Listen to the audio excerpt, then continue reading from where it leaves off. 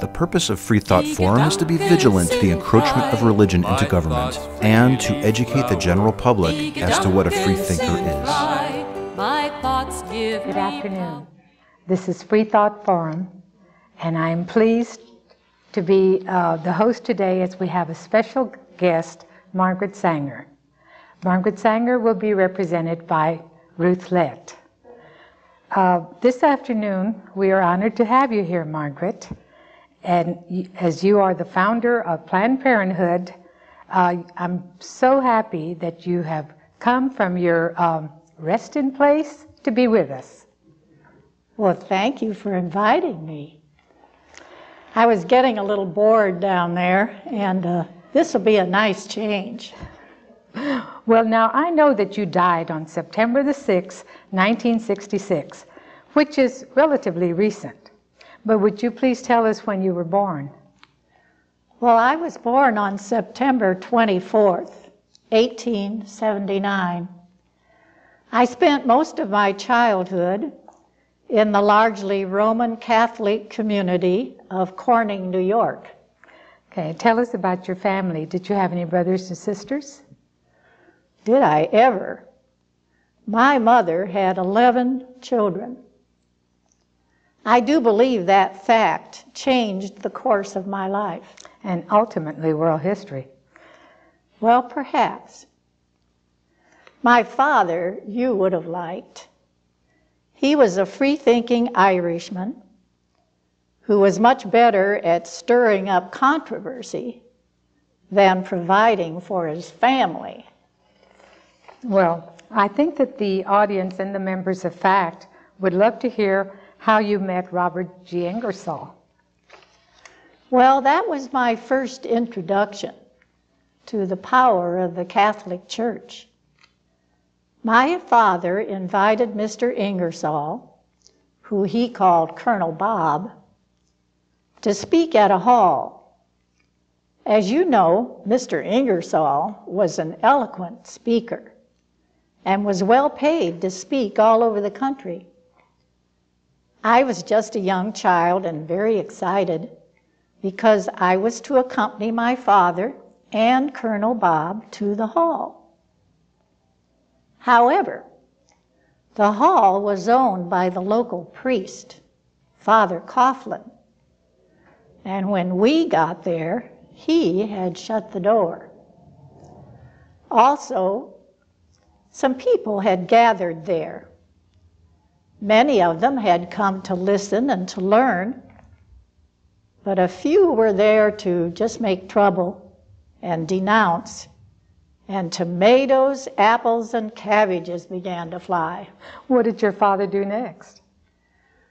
Well, he announced that the meeting would take place in the woods near our home in one hour.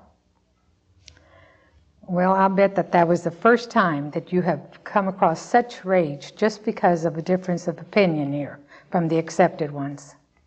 Yes, it was. After that, my siblings and I were called children of the devil, and we were taunted by other children on our way to school. Oh, didn't you attend any church? I asked my father which Sunday school we should attend, and he said, Well, try them all, but don't be chained to any of them. So for a few years, I made the rounds. My impression of the Catholic Church was that it was always cold and the benches were hard. They did have some seats upholstered in soft red cloth, but they were reserved for the very rich. Right, not too surprising. Uh, you said your father was a free thinker. When did you begin thinking for yourself? Once my father heard me saying the Lord's Prayer. He asked me, What was I saying about bread and who was I talking to? I answered, God. So he asked, Is God a baker? I was shocked and told him that it meant that God gave the sunshine and rain and all the things to make the bread. So he said, Well, why don't you say what you mean then? what is your school background? I attended three years of college in a private co ed school, but in 1898, I had to return home to nurse my dying mother. My mother, Ann P. Higgins, had tuberculosis. She was only 48 years old when she died. I also contracted tuberculosis. I had two tubercular glands operations. Well, I understand the disease is very contagious. What else did you do? I attended nursing school in White Plains, New York. Well, um, did you ever marry? Yes, I married an artistic architect named William Sanger and we had three children. I almost died after the birth of my son, but after a long convalescence, I did settle into the tranquil life of a homemaker. And what else did you do? In 1912, we moved back to New York City. It was an exciting time. The city was abuzz with radicals, reformers, and socialists. We rubbed shoulders with such iconoclasts as Emma Goldman, Bill Haywood, and Mabel Dodge. Um, well, and did you did, did you participate in any of their activities? Oh yes, I uh, supervised a campaign to relocate the children of striking textile workers in Lawrence, Massachusetts. My testimony made headlines. The International Workers of the World, called Wobblies, erected a huge banner at Madison Square Garden proclaiming, No gods, no masters. this was in a demonstration planned by John Reed. That slogan caught my eye. I know you used that slogan later for your clinics, did you not? How did that come about? Well, the turning point in my life was in July 1912. I had been called to nurse a woman by the name of Sadie Sachs. She was 28 years old and had three children. She had nearly died of a self induced abortion. I overheard that timid woman ask the doctor how she could avoid another pregnancy. His reply threw me into action. Oh, what was his reply? His reply was, Tell Jake to sleep on the roof. Really? Three months later, Mrs. Sachs died. I resolved then and there to do something to help women with fertility. I returned to obstetrical nursing of the poor. I would repeatedly beg the medical experts for the secret that would let desperate women avoid serial pregnancies. Is that when you started writing for the socialist paper? Yes, I started writing a weekly Sunday column for The Call titled What Every Mother Should Know.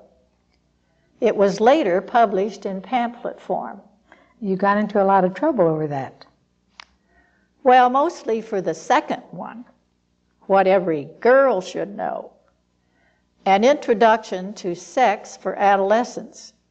But it was censored because I referred to syphilis and gonorrhea by their real names.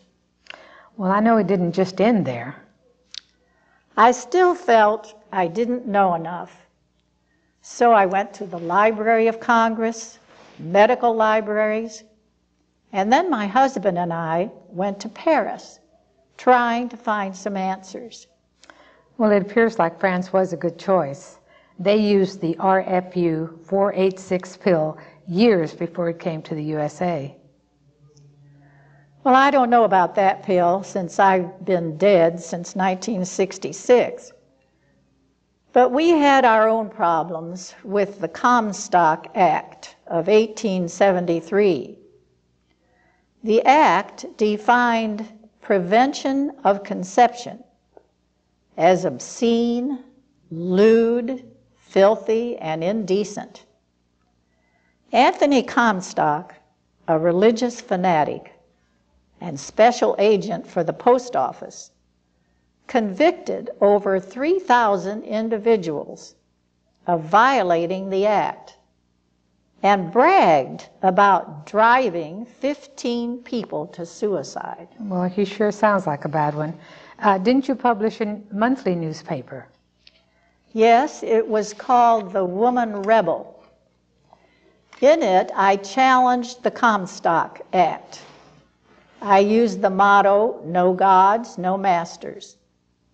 My friends and I brainstormed for a name for the contraceptive movement, and the term birth control was born. And did you get into any trouble over that?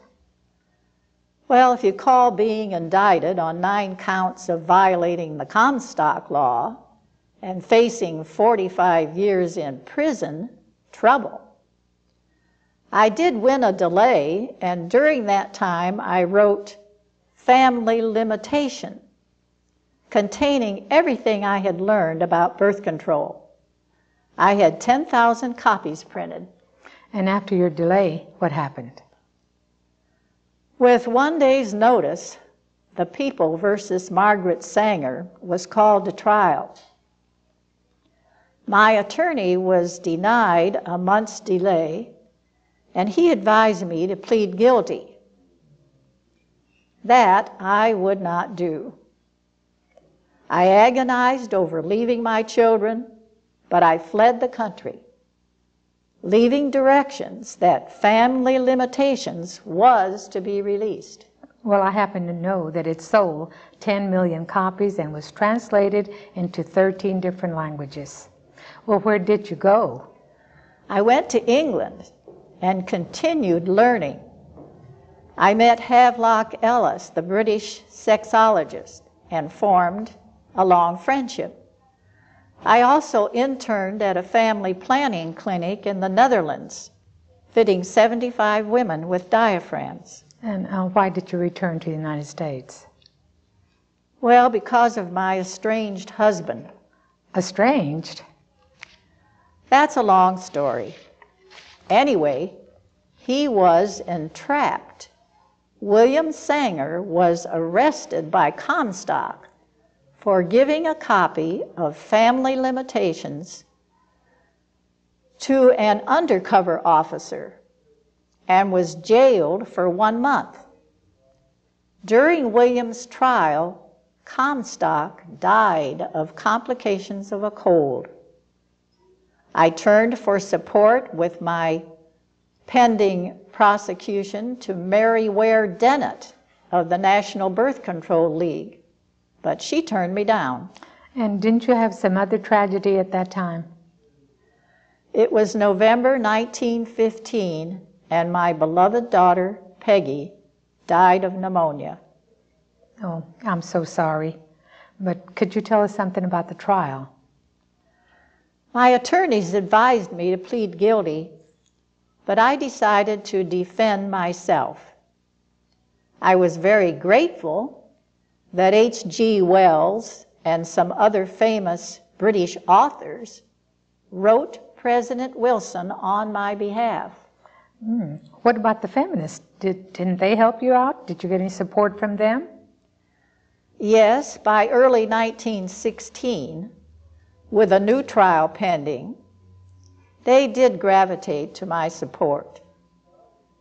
I gave a pre-trial speech at a dinner describing myself as a nurse working in the slums who saw a fire and shouted for help.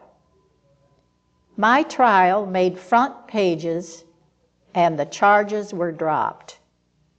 The Comstock laws, however, remained unchanged. And did you stop fighting for birth control for women?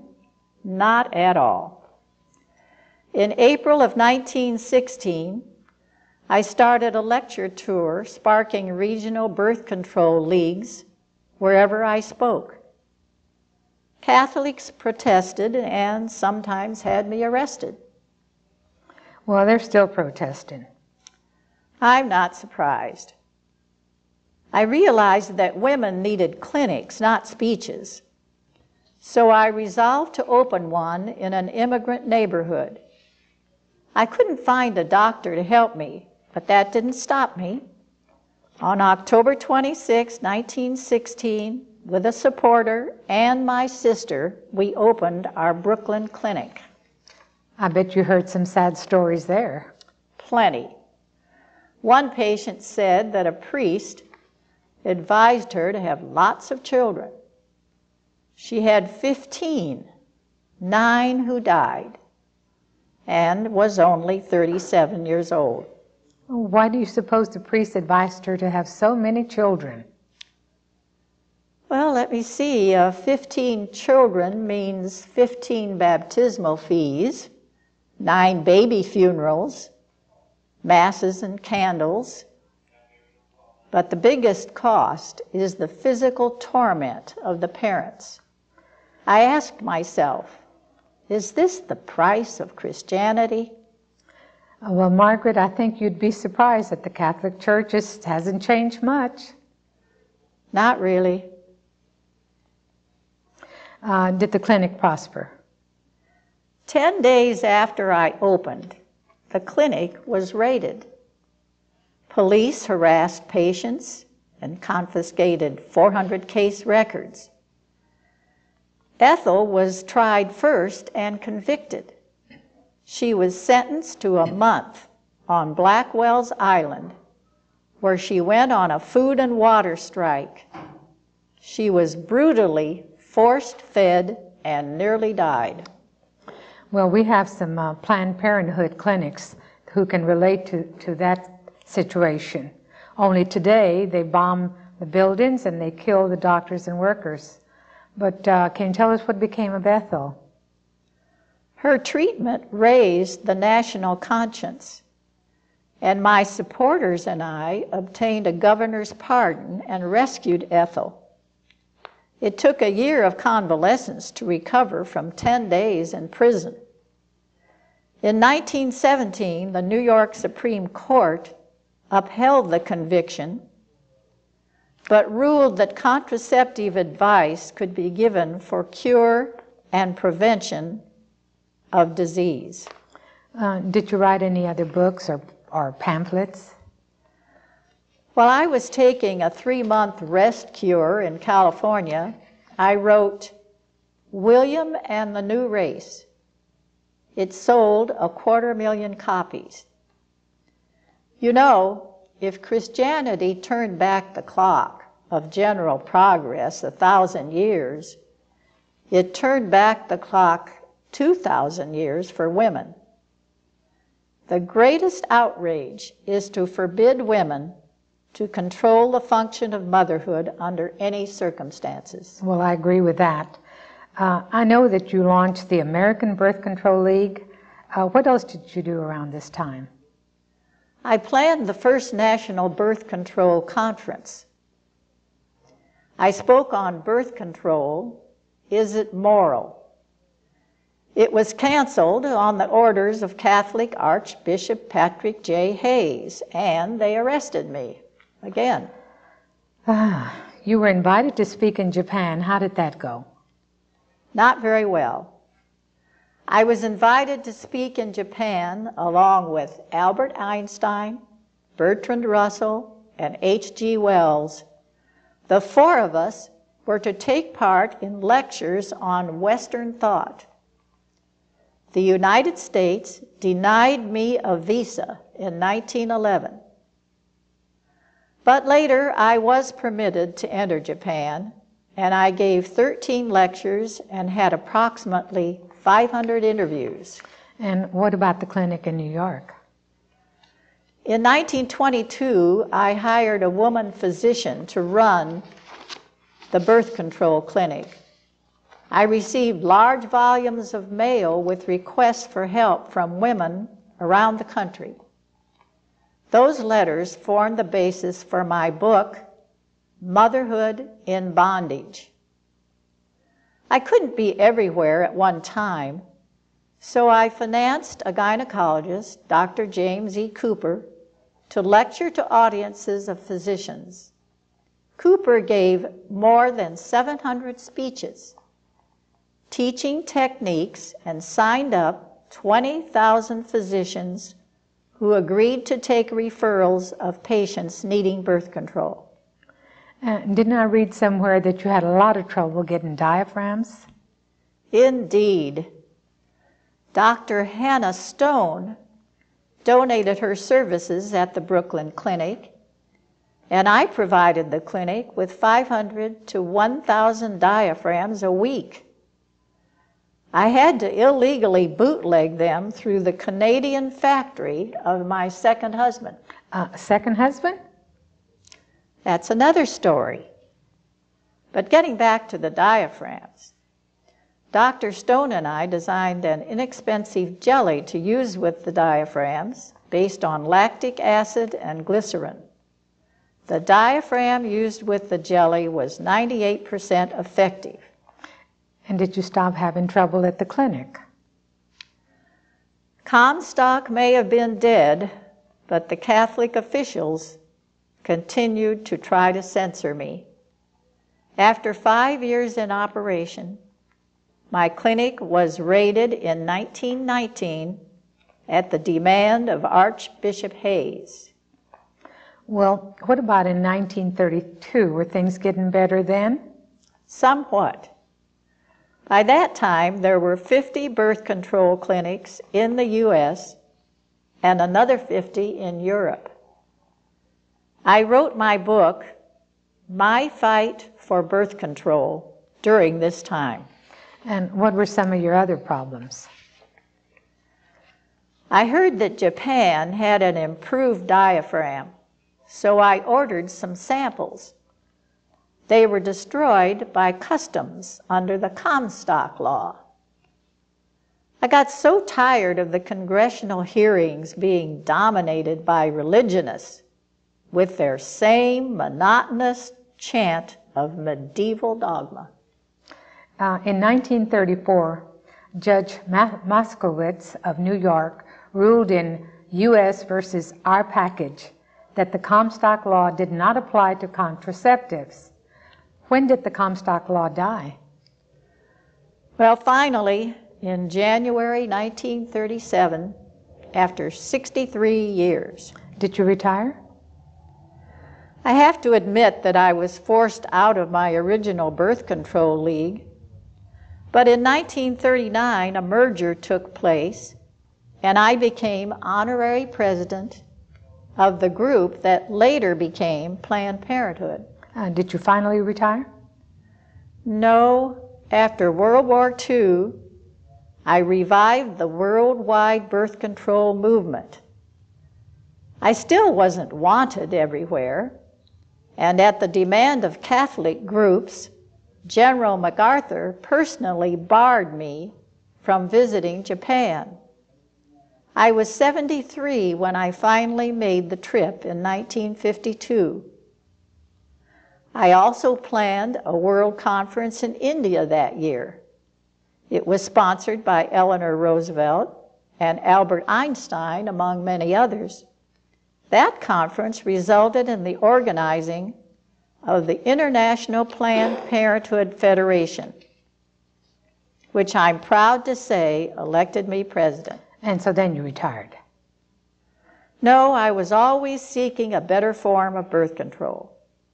In the 1950s, through a financial sponsorship with Mrs. McCormick, we set up Gregory Pincus, an expert in mammalian biology to study steroid hormones. And did you get any federal funding? No, they were too afraid of the Catholic Church. Tell me, Miss Sanger, have you ever heard of the pill as a method of birth control? Mrs. McCormick and I sponsored laboratory studies by Dr. M.C. Chang. Dr. John Rock, father of the pill, tried out steroids on volunteers at the same time. The pill, tested more than any drug in history, was released in 1960. Well, thank you, Miss Sanger, for all you did for women and for being here today.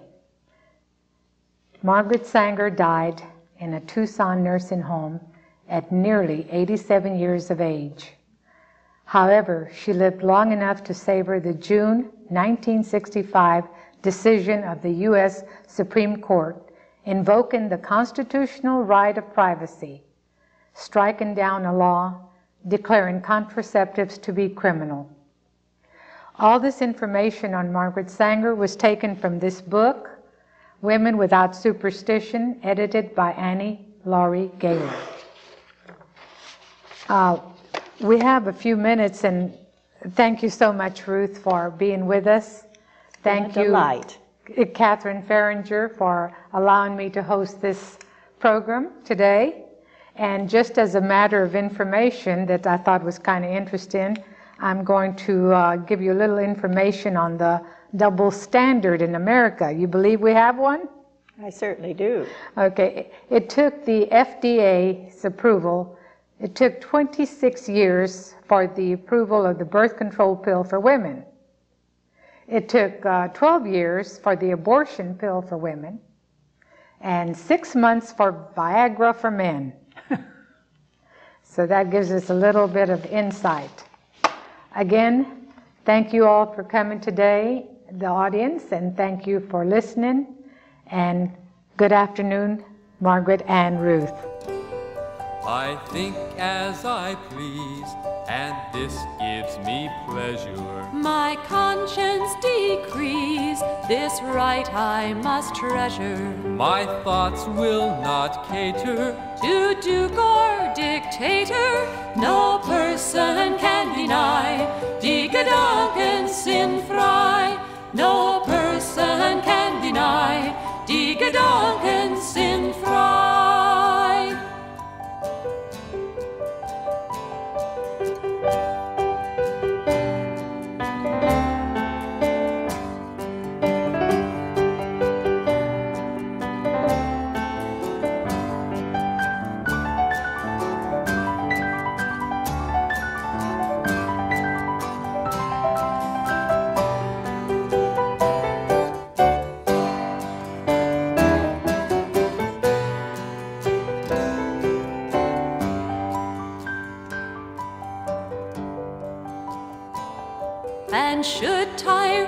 take me and throw me in prison, my thoughts will burst free like blossoms in season. Foundations will crumble and structures will tumble. And free people shall cry, Gedanken sind frei. And free people shall cry, Die Gedanken